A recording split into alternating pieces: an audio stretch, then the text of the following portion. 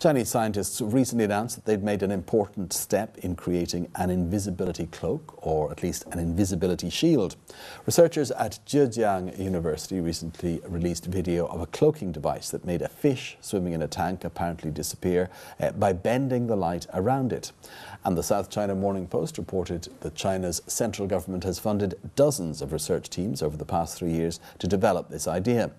Professor Ma Yungui, uh, an optical engineering specialist at Zhejiang University, said he thought his team had about a 40% chance of making the world's first invisibility cloak. But if such a device were developed in China, what would ordinary Chinese people use it for? Our researcher Cao Li, went out on the streets of Beijing to ask. I don't think it's interesting at all.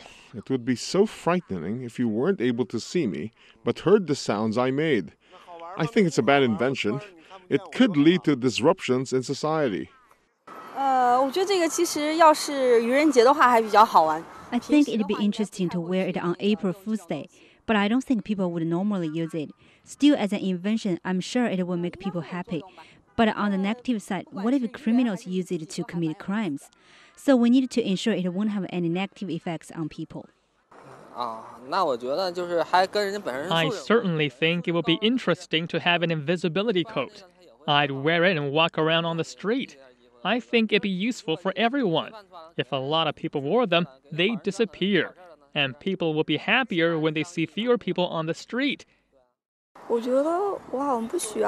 I don't need one. In today's society, people want to show off their characters. If others couldn't see me, how could I demonstrate my characters through my clothes? I'd be ignored by others then. I want to attract the people's attention. I don't want one. I don't see any use for it in my life. Of course, it's a great advance in technology, and I look forward to that. But it'd be bad if people used it for crimes. So I think it should only be used for exhibition.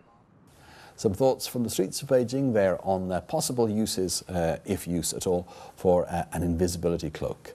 Coming up next, Q&A, what's got Chinese net users curious today.